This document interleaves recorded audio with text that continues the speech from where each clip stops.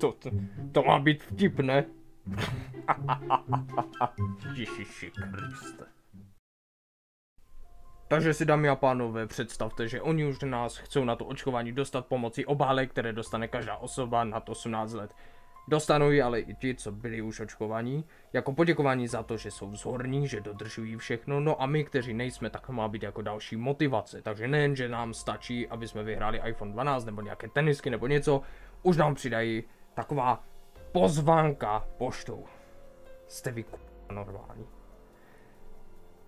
Jsem mladý člověk, dodržuju opatření a nepotřebuju si do sebe píchat svinstvo, které za deset let prohlásíte, že to byla největší chyba v historii, co se mohla udělat, že jste ty lidi očkovali.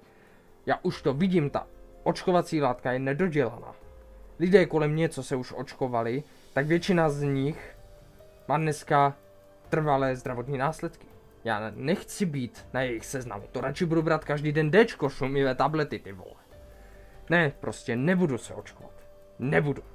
Mám rád své zdraví, jsem zdravý, víc nepotřebuji. Nebudu se očkovat. Obálky poštou. Jako taková motivace.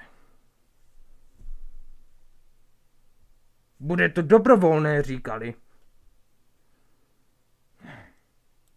Jestli se chcete uklidnit, tak se podívejte na některé z těchto těch videí. Budu za to moc rád.